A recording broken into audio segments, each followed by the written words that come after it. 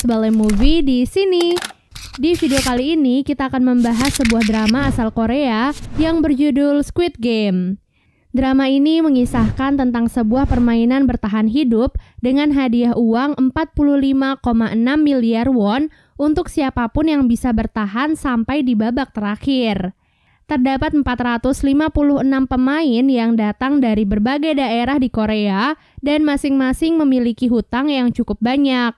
Oleh sebab itulah, dalam permainan itu mereka rela melakukan apa pun agar bisa bertahan dan mendapatkan hadiahnya. Sebelum kita ke alur ceritanya, jangan lupa untuk like, komen, subscribe, dan nyalakan loncengnya ya.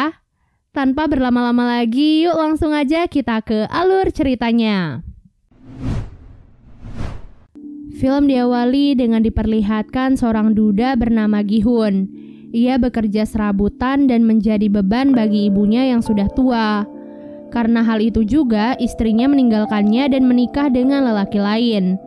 Bahkan hak asuh untuk putri semata wayang mereka juga jatuh kepada sang istri yang sekarang hidup bahagia bersama keluarga barunya. Dengan semua kesialan dalam hidupnya, Gihun mencoba menjadi ayah yang baik di hari ulang tahun putrinya.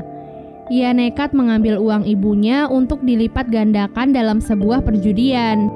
Beruntungnya ia berhasil memenangkan perjudian itu dan mendapatkan uang yang cukup banyak.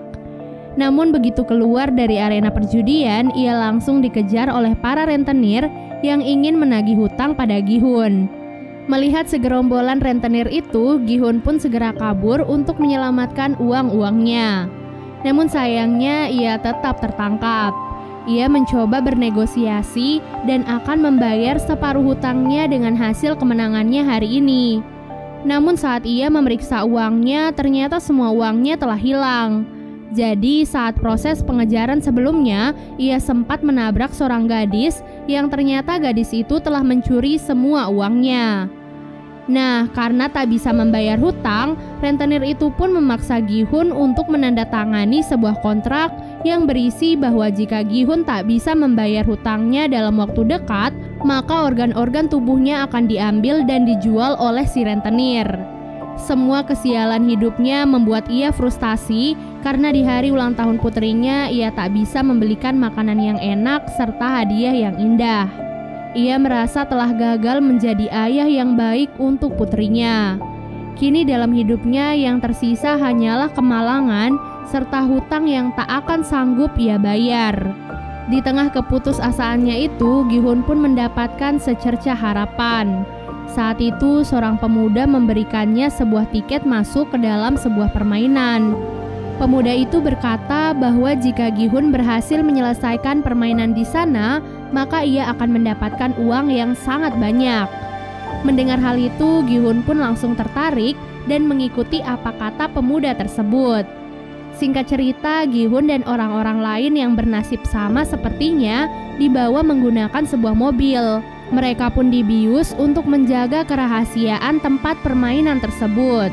Selain itu, semua HP dan barang bawaan mereka juga disita dan akan dikembalikan nanti saat mereka pulang. Terdapat 456 peserta yang dikumpulkan di dalam sebuah ruangan besar. Tempat permainan itu dikelola oleh seseorang misterius bertopeng hitam dengan anak-anak buahnya yang menggunakan pakaian serba merah. Mereka sangat merahasiakan semuanya, bahkan identitas mereka tak boleh diketahui oleh siapa pun. Di sana Gihun bertemu dengan beberapa peserta lain. Di antaranya adalah Sang Woo, teman masa kecil Gihun, Ilnam, kakek-kakek yang penyakitan, seorang pekerja asing bernama Ali, seorang gangster bernama Doksu, seorang wanita bernama Miryong, dan gadis asal Korea Utara bernama Sebyok. Nah, Sebyok adalah gadis yang sebelumnya mencuri semua uang Gihun jadi saat melihatnya, Gihun pun menjadi sangat marah.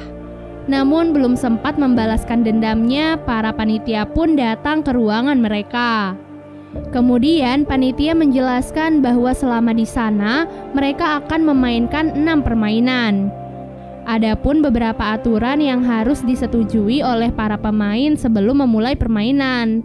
di mana pemain tidak boleh berhenti di tengah permainan, lalu pemain yang menolak bermain akan langsung dieliminasi, dan yang terakhir, permainan akan dihentikan jika mayoritas dari peserta menyetujuinya.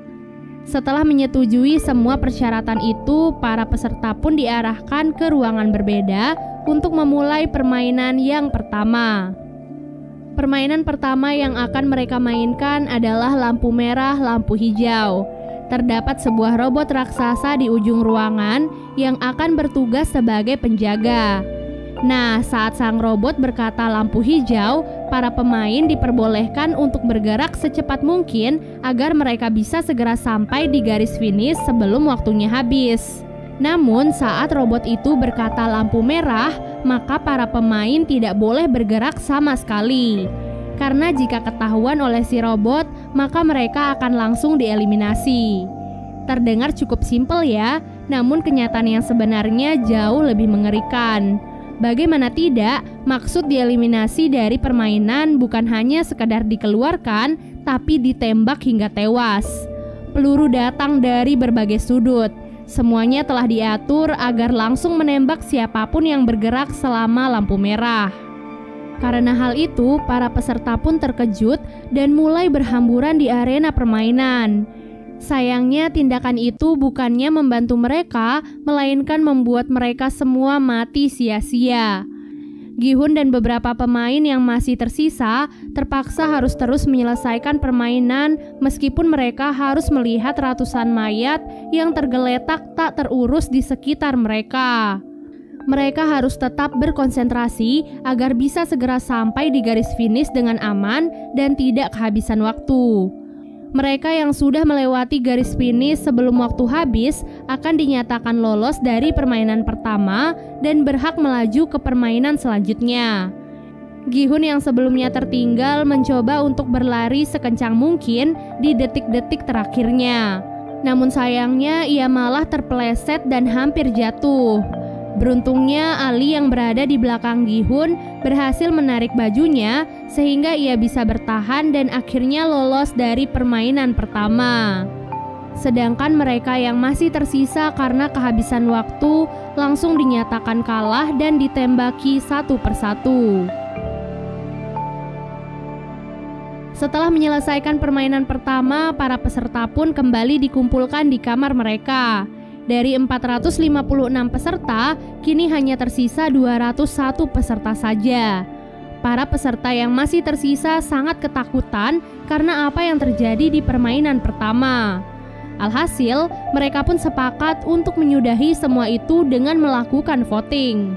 Sebelum melakukan voting, panitia mengingatkan kepada mereka bahwa kini hadiah yang terkumpul sudah mencapai lebih dari 25 miliar. Hal itu diakumulasikan dengan jumlah para peserta yang telah gugur. Dan jika mereka memilih untuk berhenti dari permainan ini, maka mereka akan dipulangkan tanpa membawa uang sepeser pun. Hal itu tentu membuat mereka semua menjadi goyah. Namun pada akhirnya dengan selisih satu suara saja, mereka pun sepakat untuk menyudahi permainan tersebut.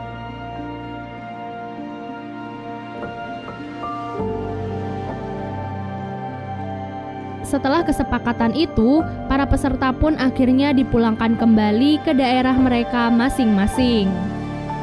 Keesokan harinya, Gihun memutuskan untuk pergi ke kantor polisi dan melaporkan sindikat permainan yang kejam sebelumnya. Ia pun menceritakan semua kejadiannya sejak awal mereka dibawa sampai kembali dipulangkan. Polisi yang mendengar semua ceritanya hanya bisa tertawa. Kemudian Gihun pun memberikan tiket permainan yang sebelumnya ia dapatkan dari pemuda misterius sebelumnya. Di sana terdapat sebuah nomor telepon yang bisa dihubungi. Namun ketika si polisi mencoba mengkonfirmasi nomor itu, yang mengangkatnya malah seorang wanita biasa. Hal itu pun membuat polisi marah kepada Gihun dan menganggapnya telah gila. Tak lama kemudian, seorang polisi bernama Junho baru saja tiba di kantor polisi tersebut. Entah apa alasannya, ia terlihat tertarik dengan tiket permainan yang dibawa oleh Gihun. Ia bahkan meminta identitas Gihun pada para polisi yang mendengarkan cerita Gihun sebelumnya. Junho sepertinya mengetahui sesuatu yang janggal dari permainan tersebut. Tak disangka ia juga memiliki tiket yang sama persis dengan milik Gihun. Tiket itu diketahui milik kakaknya yang sudah lama menghilang. Junho pun merasa bahwa kakaknya pasti ada di tempat permainan tersebut. Di tempat lainnya, Gihun yang pulang ke rumahnya merasa kebingungan mencari ibunya. Ternyata ibu Gihun saat ini dirawat di rumah sakit karena menderita penyakit diabetes akut. Bahkan dokter menyarankan kepadanya untuk segera melakukan operasi. Namun sang ibu justru memilih untuk pulang karena tak sanggup membayar biaya pengobatan di rumah sakit. Hal itu pun membuat Gihun sedih dan kecewa pada dirinya sendiri.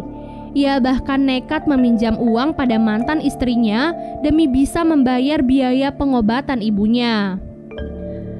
Namun yang ia dapatkan malah hinaan dari suami baru mantan istrinya yang juga bahkan melarangnya untuk mendekati putri kandungnya sendiri.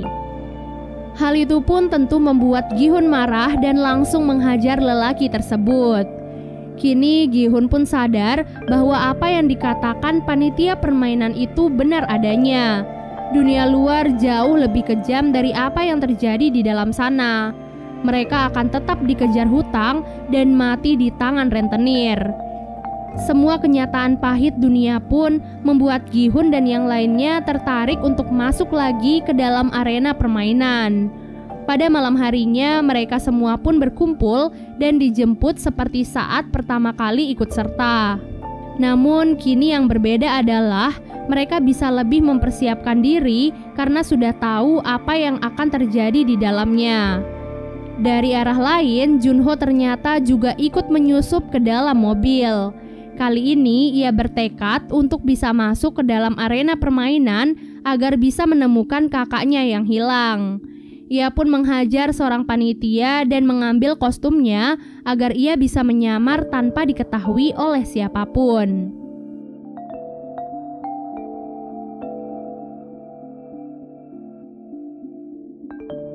Seperti biasanya, para peserta pun kembali dikumpulkan dalam sebuah ruangan besar. Namun tak diduga ada beberapa dari mereka kali ini datang dengan persiapan, yaitu membawa sebuah senjata atau barang-barang kecil yang mereka perlukan. Dari 201 peserta awal, kini tersisa 187 orang yang memutuskan untuk ikut serta kembali. Yang berarti hadiahnya juga semakin bertambah. Di waktu yang sama, Junho yang kebingungan juga kini harus menyamar menjadi panitia di dalam aula permainan tersebut.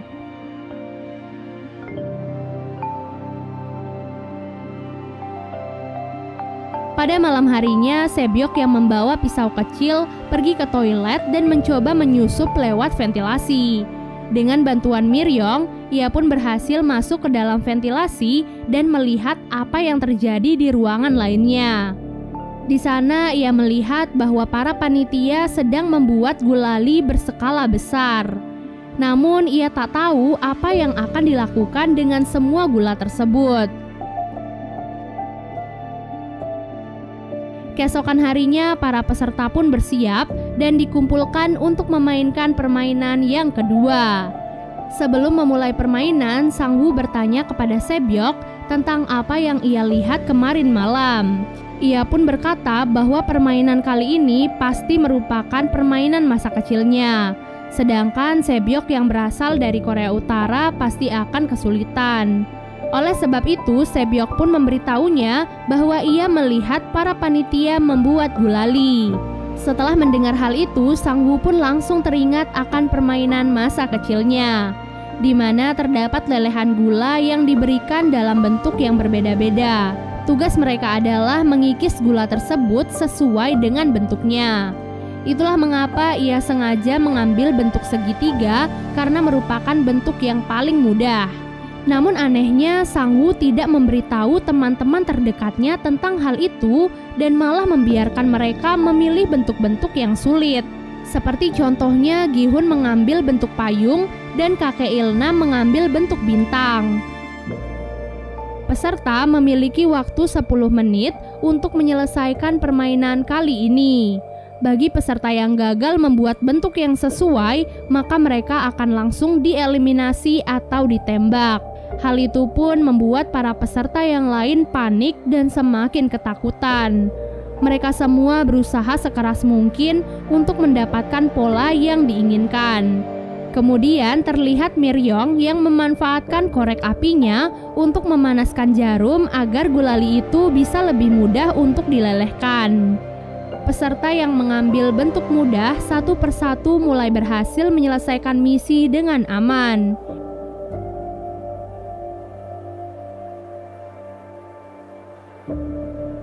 Namun yang menjadi masalah adalah para peserta yang mengambil bentuk-bentuk yang sulit. Ditambah mereka juga dikejar oleh waktu yang semakin berkurang. Dalam proses permainan itu, Junho pun mulai dicurigai oleh panitia lain karena ia terlihat kebingungan dan seperti tidak mengetahui tugasnya di sana. Di menit-menit terakhir, Gihun pun mendapatkan ide cemerlang agar ia bisa menyelesaikan misi dengan cepat. Saat itu, ia melihat bahwa gulali mereka telah memiliki polanya. Jadi, yang harus mereka lakukan adalah menjilati gulali itu sampai bisa dipisahkan dari polanya tersebut. Hal itu adalah cara tercepat yang bisa mereka lakukan saat ini jika ingin selamat. Para peserta yang melihat Gihun pun langsung mengikuti triknya. Tadi sangka hal itu pun sangat membantu mereka sehingga beberapa peserta termasuk Gihun dan kakek Ilnam berhasil menyelesaikan misi dengan aman. Namun ada seorang peserta yang gagal mencoba melawan seorang panitia. Oleh sebab itu, panitia yang lain pun langsung menembak peserta yang lain agar mereka tidak memiliki kesempatan untuk melawan. Peserta itu pun menodongkan pistol ke arah panitia tersebut dan memintanya untuk melepaskan topeng. Namun begitu ia melepaskan topengnya, ia pun langsung ditembak oleh penyelenggara permainan. Jadi semua panitia di sana telah memiliki perjanjian bahwa mereka dilarang membuka topeng atau identitas mereka di dalam aula permainan, kecuali saat mereka berada di dalam kamar dan sendirian. Semua itu dilakukan untuk menjaga semua kerahasiaan dari permainan tersebut. Dan part satu pun akhirnya selesai. Siapa ya kira-kira dalang dari permainan ini? Dan apa ya kira-kira yang akan terjadi selanjutnya pada Gihun dan yang lainnya? Pastinya bakalan lebih seru guys. So kalau kalian penasaran, jangan lupa untuk komen sebanyak-banyaknya ya, biar Mimin semakin semangat buat ngelanjutin drama ini. Sampai jumpa guys, bye!